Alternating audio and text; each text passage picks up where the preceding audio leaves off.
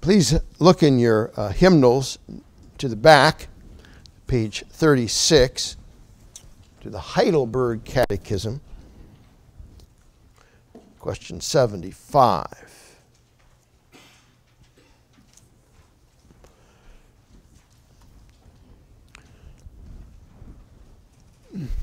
Working on a series of sermons on the church and her sacraments, kind of set up the stage for it in our understanding of the church itself.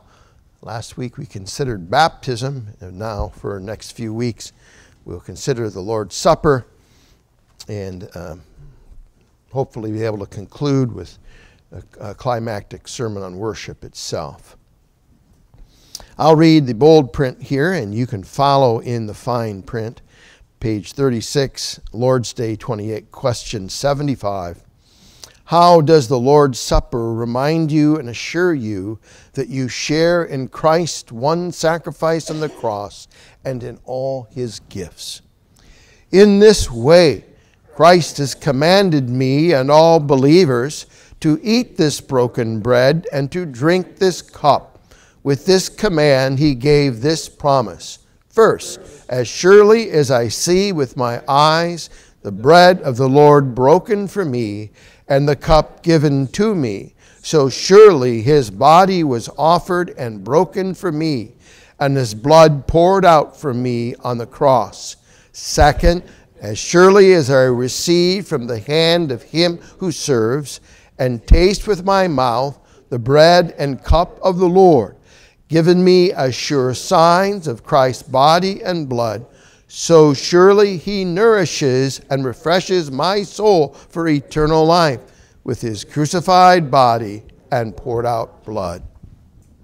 Amen. What a wonderful statement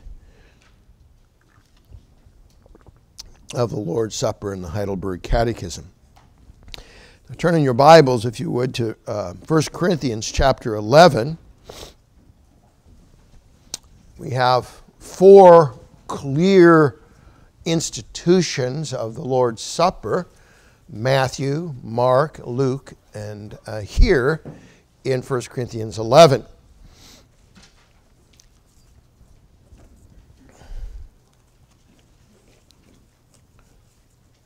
Now, today's sermon is just, uh, for all that's being said, has a very simple point, and that is the title. Uh, we need the Lord's Supper because we need the Lord Jesus Christ, uh, the one who comes to us and offers himself to us in the supper. In other words, really and truly, ultimately, I don't come to feed on bread and wine. I come to feed on Christ's body and blood. 1 Corinthians 11 23 through 26 I received from the Lord what I also delivered to you that the Lord Jesus, on the night which he was betrayed, took bread. When he had given thanks, he broke it, and he said, This is my body, which is for you. Do this in remembrance of me. Same way also, he took the cup after supper, saying, This cup is the new covenant in my blood. Do this as often as you drink it in remembrance of me. For as often as you eat this bread and drink the cup, you proclaim the Lord's death until he comes. Father in heaven, how we pray for the Holy Spirit to illumine us and to refresh us in the richness of this meal. And we pray, Lord, may all of us, uh, Lord, uh, be rightly informed, rightly illumined to peer in to this wonderful meal of the new covenant in Jesus Christ, in whose name we pray. Amen. if you ever happen to read the marquee uh, out here at the uh, Veterans Memorial District, uh, you will see sometimes flashing uh, Covenant United Reformed Church, uh, meet with Christ. Uh, you may say, oh, come on, that's, that's claiming way too much. And uh, my answer to that is that's stating exactly the single thing we're doing here. We meet with Christ. So, parents, when you get up in the morning, your parents, your kids are slow and they're moving and they don't want to come, don't say to them, hey, you get to come and see your friends. Don't tell them that. Say, hey, you get to come and meet with Jesus. So let's get ready, okay? How can you turn away from that? So when we come to church, we come because we need Christ. And we need the means of grace, baptism, the Word, the Lord's Supper, through which Christ comes to us. When I come to church, I need to be cleansed by Christ because I, I'm dirty. We read Isaiah 6 was Isaiah the prophet. If Isaiah, God's choice prophet, wrote 66 chapters, if he needs to be cleansed when he comes in the chapter, I guarantee you, you do. And I do. We're no Isaiah. But we need it. We need Christ's blood sprinkled upon us. And thus we see and we learn every Sunday as we come into worship the Lord, I need the benefits of my baptism. I need the sprinkling of the blood again uh, as I come. I need to hear what baptism has secured for me that I am forgiven. I'm cleansed. My conscience is free to come and worship the Lord. Number two, when I come, I need to hear Christ speak to me. I need to have my mind renewed, and thus I have the Word of God for the renewing of my mind. And I also need to commune with Christ. I need to be nourished in His body and blood and assured that He is mine and I am His.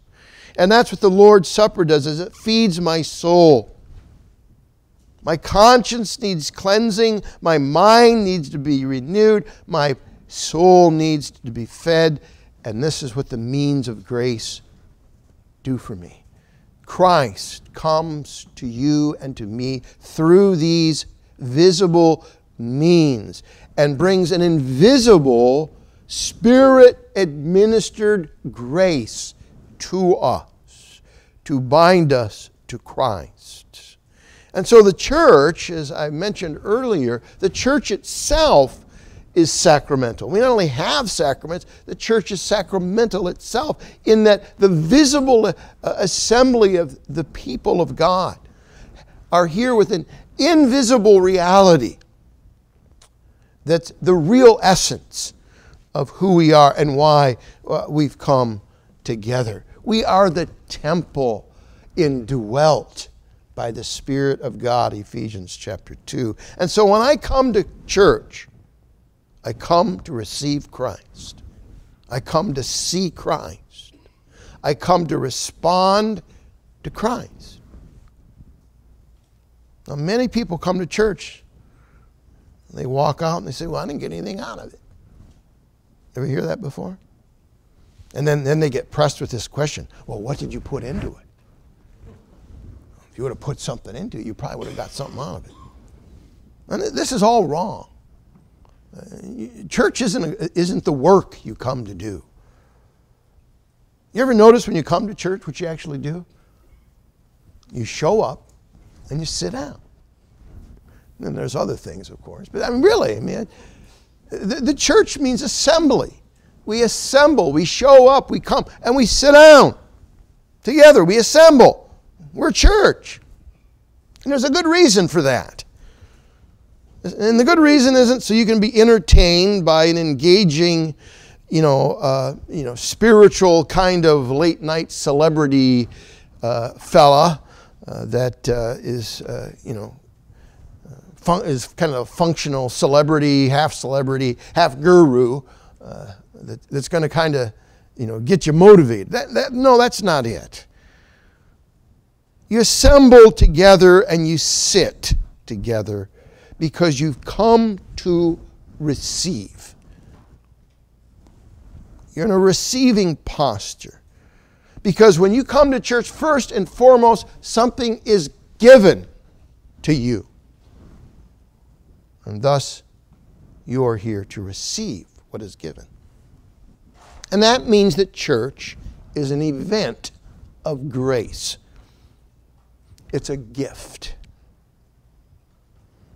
Now, I guarantee you, if I called you up before church on Sunday morning and I said to you, be sure come to church today because you got an amazing gift.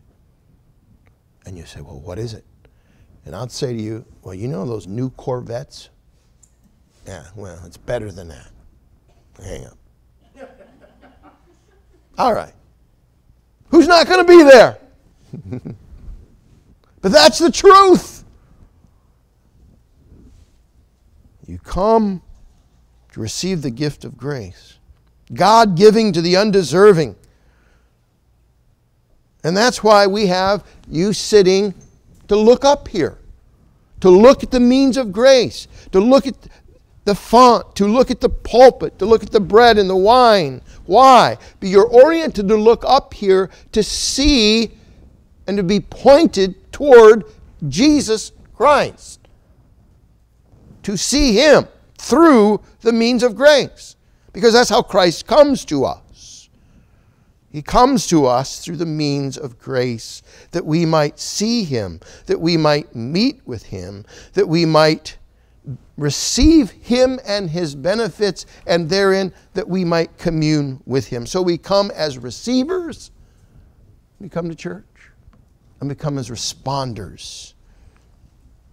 Because you need Christ, and upon receiving Him, you have opportunity to respond to Him with prayer and praise, and to proclaim your allegiance to Him in the creeds and to express thanks. Come into his presence with thanksgiving.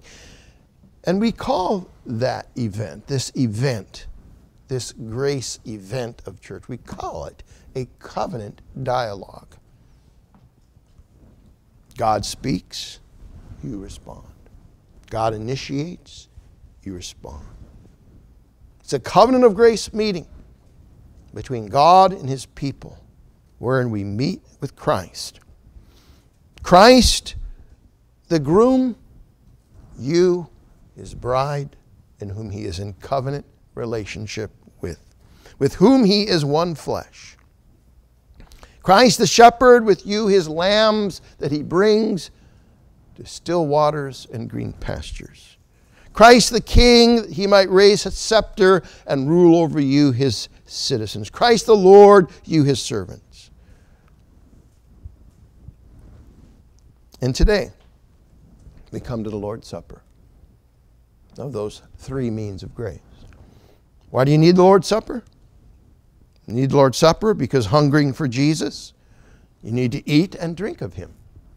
That's why you need the Lord's Supper. You come distant, you come remote, out of sorts, sideways, hard week, difficult week easy week. See, both an easy week and a difficult week both lead you to the same place. I'm away from Christ.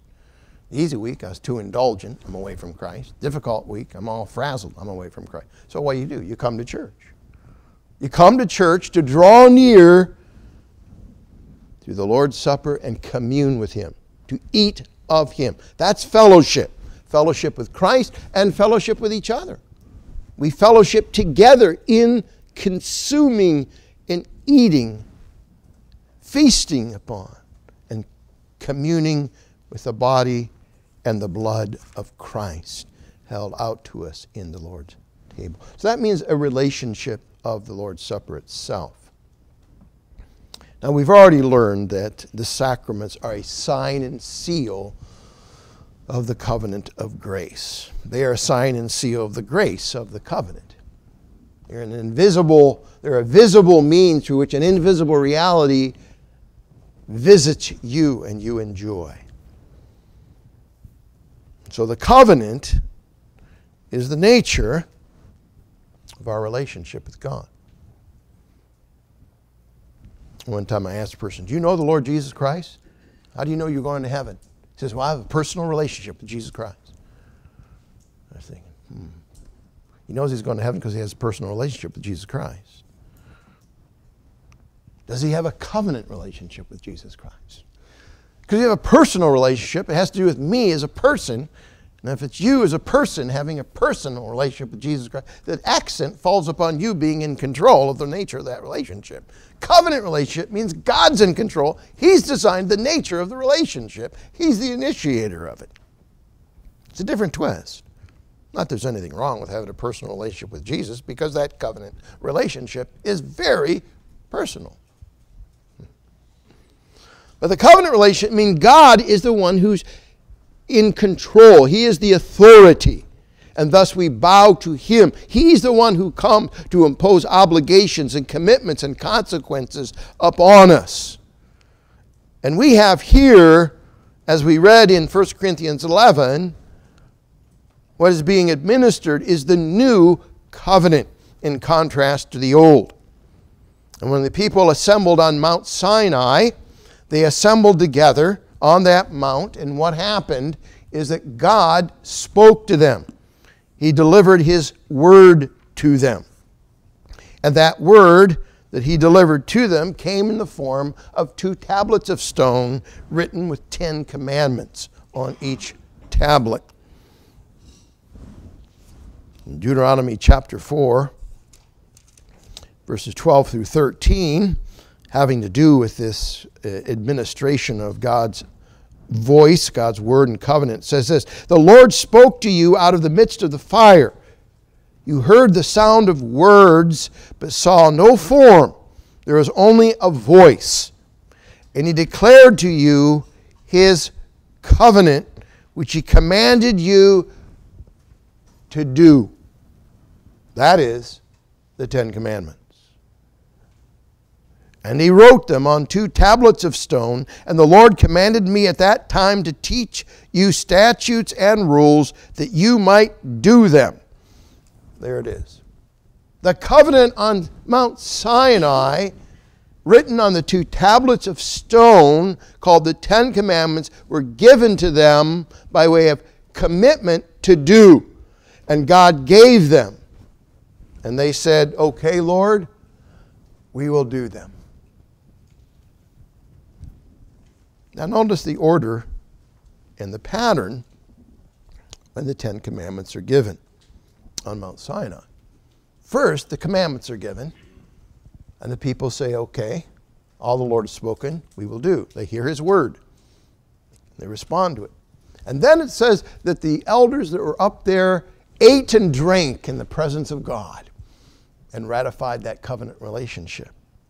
But first came the word then came the eating and drinking. First, the word is to be proclaimed, then we proceed to the Lord's table because the word explains to us the meaning of the table.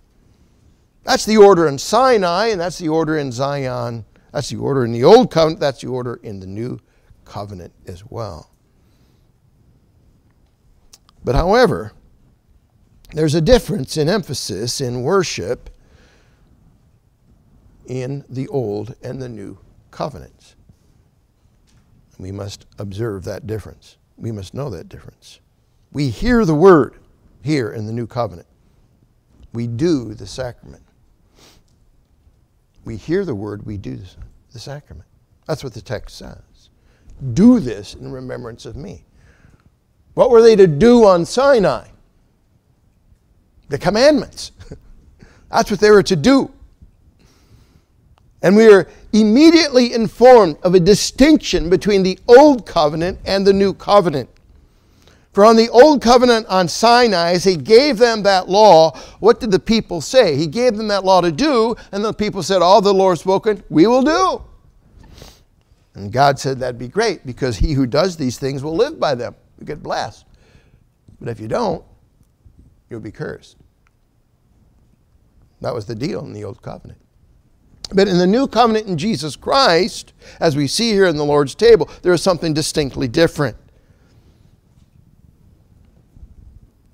The doing is not in commandment keeping, the doing is in eating, the doing is in drinking. A distinctive difference between the old covenant assembly and the new covenant assembly in worship. This do in remembrance of me.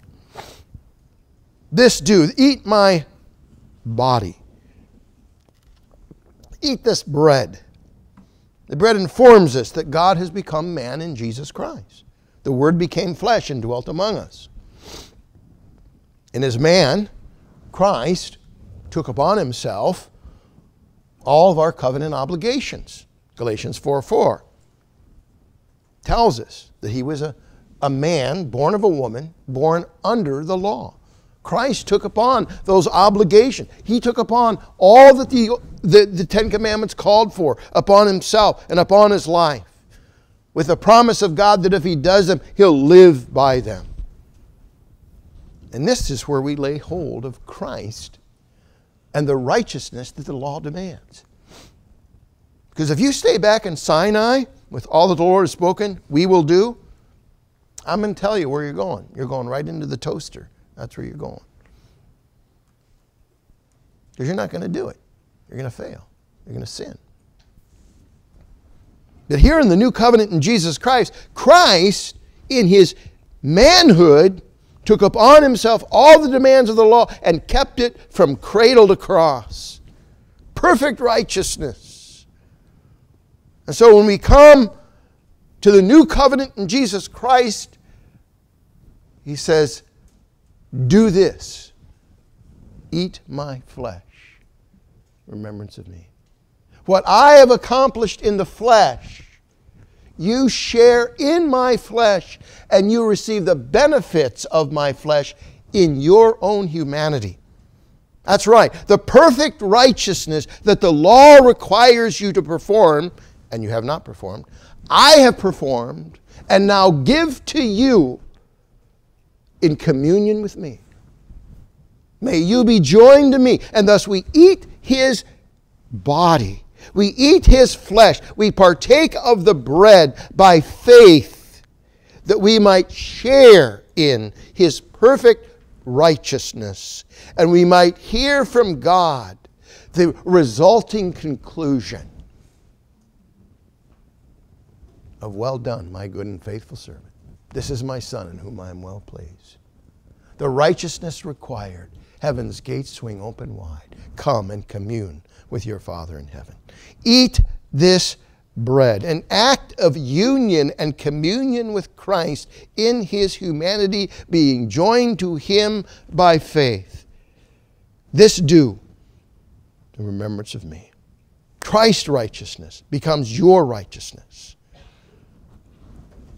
That's not all. Eat this bread. That in communing with Christ's body, that his obedience would be worked out in your life. Being your humanity being joined to his humanity means your humanity undergoes transformation in union with Christ's humanity. Change. So that you begin actually to live out in your life a new humanity in Jesus Christ as you feed upon him who is the bread of life. Two great benefits are communicated to you when you eat the bread in faith. Justification, clothed in a perfect righteousness as if you'd never sinned and have been obedient all along, and a real change and transformation in your humanity so that your heart undergoes metamorphosis. Sanctification. That's the pledge of the covenant. This is what we do. This is the do that we do in the new covenant. We open our hand, we open our mouth, and we receive Christ. That's what happens. We come knowing we've sinned. We come knowing we sinned. But we trust in His obedience for righteousness. We know that we have sinned, but we trust in Him to work in us and transform us in union with Him, to be conformed after Him, to be metamorphosized as we look upon Christ. And we hear Jesus say to us, as we eat the bread, as we drink the cup,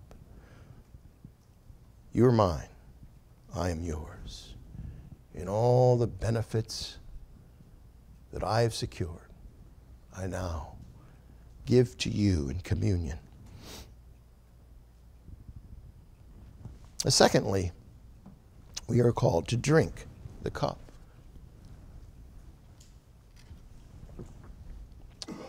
The Old Covenant required obedience for blessing, for life. And that is realized in the body of Jesus Christ. His humanity has achieved it. But the cup, the cup satisfies the old covenant requirement for cursing, for disobedience. That's what the cup does. The cup tells us that the curse has been dealt with in the blood of Jesus Christ. Cursed is everyone who does not do all things written in the book of law to perform them. That word perform is do, to do them. Cursed be them. Do all those things, or you will be cursed. But what does the cup say to us? Do this in remembrance of me. Drink this cup, this cup of the new covenant because this cup brings home to you the promise of forgiveness. The old covenant said, Curse you if you do not do all these things. The new covenant in Jesus Christ says, Christ has taken this curse upon himself. Now drink this cup, which is now for Christ a cup of cursing. For you is a cup of blessing. For in it is a sign and seal of forgiveness for you, the dirty, rotten sinner that you are. And if you believe you're a dirty, rotten sinner, you ask yourself a question where am I going to go now? Now what? I've blown it over and over and over and over. Now what? And Jesus says to you, drink this cup. Drink this cup. That's what you do in the new covenant. You come already condemned. It's a sign and seal of forgiveness. It's called a cup of blessing because Christ wore the crown of thorns and shed his blood, that you might drink of his shed blood. The very cup that brought him anguish and reeling is the very cup that he places in your hand. This is not a cup of cheap grace. This is not a cup of cheap wine. This is not casual. This wine, this wine sobers you. It's a costly cup. The life of the Son of God. It's costly. The precious blood of the Lamb. May think, well, what do I have to do to get it? What, what do I have to bring? What, what exchange rate is there? on a mere human terms where this costly blood can become mine. There is no exchange rate. That's why Isaiah says in prophetic language without money, without cost, come. come. The sacrificial blood has been poured out God's wrath has been propitiated and satisfied. The terms of the law and its call for its curse has been completely eradicated. Its curse exhausted by the blood. And that blood can cleanse you of sin, and that blood can kill sin in your life. Twofold benefit. Drink the cup. Drink the cup. In volume, it's very small. It's a little tiny cup. In volume, it's very small. You compare the, the cup in the new covenant compared to all the blood of the animal sacrifices of the old covenant. There are gallons and gallons and gallons, millions of gallons of blood spilt in the old covenant. And not a single drop was effect, effective to cleanse or to kill sin. But this blood, ooh, this blood of the precious Lamb of God contained in this cup and communicated to you if you receive it by faith is a sin cleansing, sin killing blood. Drink this cup. Gaze upon it. Put it to your lips. Taste it. Swallow it. This is the cup of the new covenant in the blood of Jesus Christ, which can take away our sins. It's a cup of forgiveness. It's a cup of the finished work of Christ applied to you. Drink it. Ah, it's refreshing, brings rest. Heaven's gates swing open wide at this cup. And that's not all. There's power in the blood. Come stumbling and struggling to the Lord's Supper. The blood is and the cup is not only a sign and seal of sin's cleansing, but of sin's killing. There is both forgiveness and mortification in this cup to partake of it. Because here at this table, here your heart is trained to awaken to the love of Christ. Here your heart is trained and taught about the love of Jesus. And, and, Jesus, as it is, whispers through the cup my love is the best love. Forsake all others. Forsake all, all these other loves of sin in your life. Because when we take up that cup, we take up the cross and saying no to sins and to self's pleasures. We say no to the false romances that allure and seduce our hearts. And we say yes to the love of Christ, and there it kills the love of sin. So, in the bread and the wine, we have the new covenant. We have the new covenant by which we do not stand at a distance, like in the old covenant, for a mountain thundering and the threatenings of Sinai but we draw near. For here we take Christ into ourselves. Here we draw near as we participate in Him. Yes, we enter the Holy of Holies. Do this in remembrance of me. Remembrance, the Lord's Supper is, we are to remember, uh, we are to engage. We're not to forget the point of it all. And the Lord's Supper keeps before us. It keeps before us in response to Psalm 51, where the psalmist says, My sin is ever before me. I mean, it's stuck to me. This is the answer. This is the answer. This trumps the sin that is ever before me. But we must remember it. We must put biblical remembrance into action here. In, so, in Deuteronomy 5, uh, Moses said, Remember, you were slaves in Egypt. As he looked to the people, he said, Remember, you're slaves in Egypt. What's odd about that?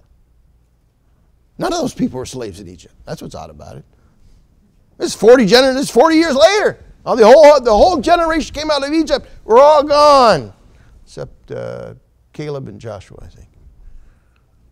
And he says to me, Remember, you're slaves in Egypt. Well, how are they supposed to do that?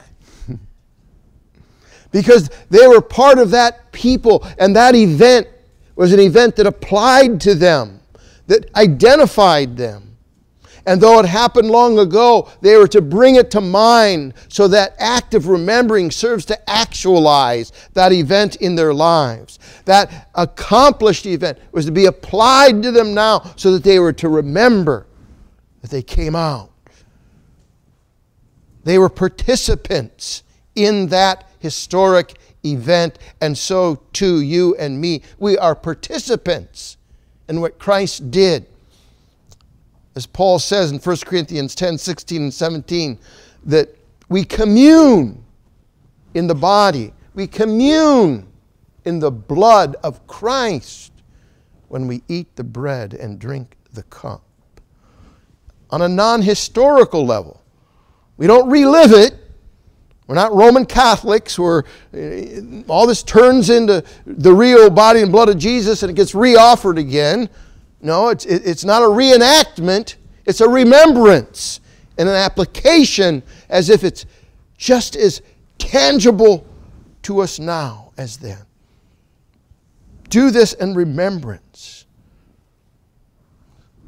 that we belong to Christ and receive the benefits of it. We have passed out of the old, like the Passover lamb, and we have we're on our way to the new. And we are, as it is, being metamorphosized. For we see Christ. We see Him. This is His body, His blood. We see Christ. Christ is present in the supper. And it's transforming, it's metamorphosizing in its very nature. And so, as we partake of this table together, as we receive Christ and His benefits, of justification and of sanctification, as we are, as it is laid hold of by Jesus, there are results of the Lord's Supper for us. And those results is it nourishes our souls. Our hungry, thirsty souls are nourished and satiated with meat and drink, with bread and wine with the body and blood of Christ. God wants us to respond. God wants us to respond. And this is how we respond to Him. We come to church to receive something. And they, we therein respond from it. If you come to church and Christ is being offered, to you. And you, and you walk and say, Oh, I didn't get anything out of it. Check for hard heartedness. Now, if Christ is not being offered, you didn't get anything out of it. Yeah, understandable. You came to church, you're told of 10 ways to improve your life, or three new principles that you need to react to have a better devotional life, or four things you can do to improve your marriage, or whatever and you go out saying, okay, I got three things to do, hey, guess what? Where have you been? You've been on Mount Sinai. You know, I don't care what they call it. You've been on Mount Sinai. You come to get Christ. And when you get Christ, if you walk away saying, I didn't get anything out of it, check for hard heartedness. Beware. Beware. Do this the table calls us to face what God has done in Jesus Christ, has revealed of Himself in Jesus Christ, and it calls us to face our sins and ourself, but it also calls us in facing those sins and facing ourselves to lift up our eyes to something awesome, something great, something restorative. Christ and what He has done for us. Because in that moment when we recognize our great need, that moment we recognize how needy I am as a sinner in need of grace, Jesus doesn't say to you, Here's some things to go do now. Here's how you can fix yourself. Jesus says to you, You're mine. You're mine. Here's my body. Here's my blood. You belong to me now. And I belong to you.